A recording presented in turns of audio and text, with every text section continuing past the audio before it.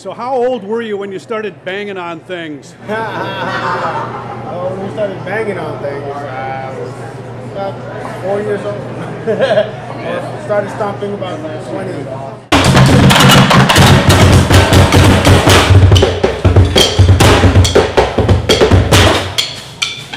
Have you ever broken anything? Um, not on purpose. All the time. All the time. All.